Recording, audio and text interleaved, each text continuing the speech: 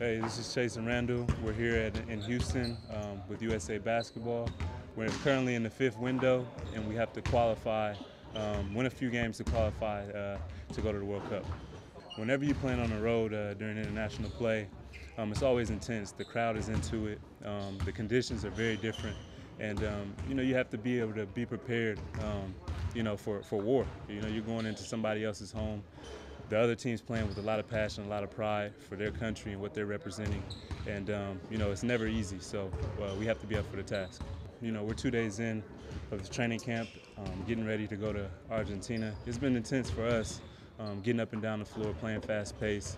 Um, defensive intensity has been there, you know, guys playing hard, getting up into the ball, um, making sure we're gang rebounding, um, being physical, and uh, doing the things that we're going to need to do to win games on the road.